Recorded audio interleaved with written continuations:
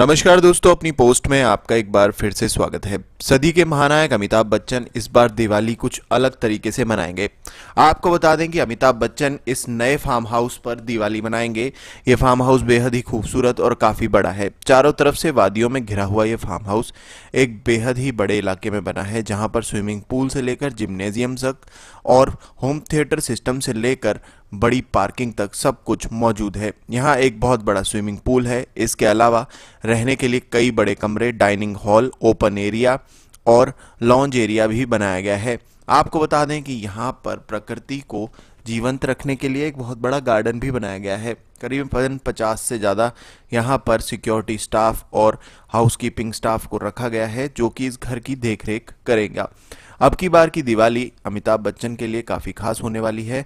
ऐसे में ये घर आपको कैसा लगा, कमेंट बॉक्स में ज़रूर बताएँ। चैनल को सब्सक्राइब करना ना भूलें, बेल बटन को ज़रूर दबाएँ। धन्यवाद।